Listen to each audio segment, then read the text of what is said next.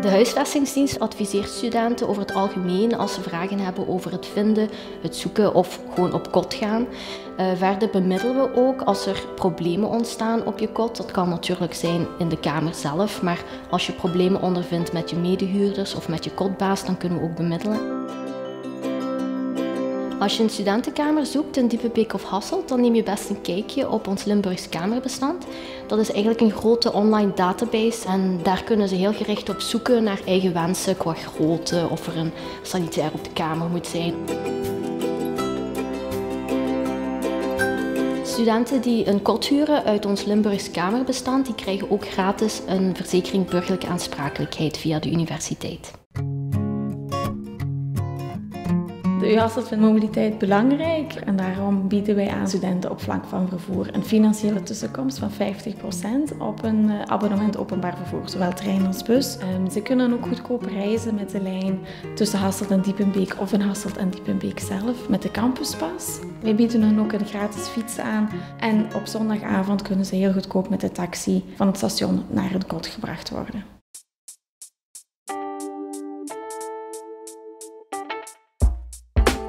Ik ben Maaike, ik ben een van de twee studentenpsychologen op de Universiteit Hasselt.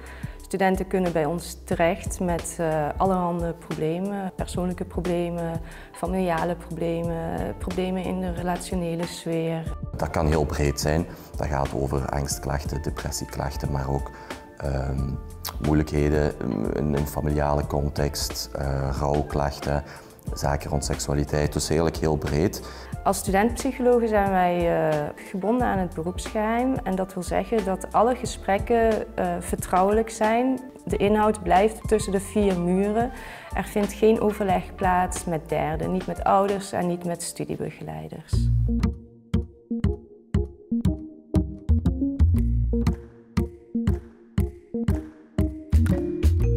Wij hebben hier aan de universiteit een jobdienst en daar kunnen alle studenten beroep op doen om een centje bij te verdienen naast hun studiewerk.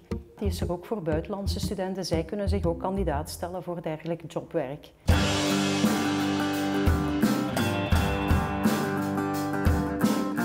Er is zeker wat te beleven en we proberen ook alles zoveel mogelijk aan studententarieven aan te bieden. Dat gaat over een gratis filmpremière, over tickets van het cultureel centrum aan de helft van de prijs. Um, eventueel uitstappen naar de opera. De student take-off die we elk jaar organiseren zit erin.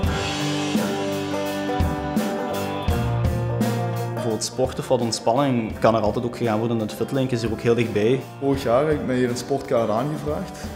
Uh, en daarmee kun je bij verschillende sportclubs terecht. Het grootste voordeel vind ik uh, het eten wat men hier heeft.